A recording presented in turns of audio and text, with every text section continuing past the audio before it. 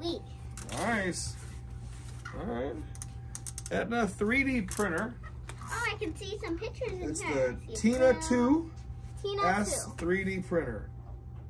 Tina 2 Tina S. 2S. Yep.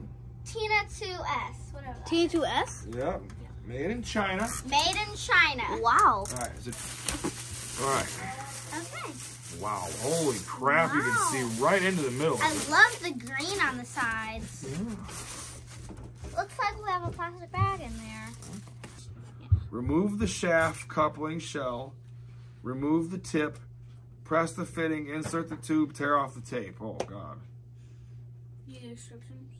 Probably. Okay. Abel, thank you for the instructions. Ooh. Are we ready? Plug it in. Turn it on. Three, two, one. Whoa! Whoa! It's on! Nice. I told you it was this way. Ooh. I just noticed that that's Yeah, but you can scoot over it. Whoa. Look at that. It's so cool, my boat! It's yours? I really wonder if it's if, if it can float in the real water. Ooh. Yeah, I was thinking of that too. We'll find out.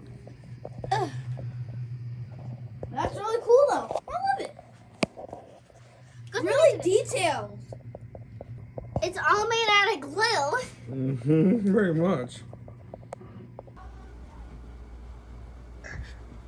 Whoa, it's so cool. Let me see. My boat's done. It's so cool. I didn't even read it. Whoa, that's cool. It looks like it has two Should we pull it out? Yeah. Aiden or Abel, hold the camera. I pulled it out a little. We got it.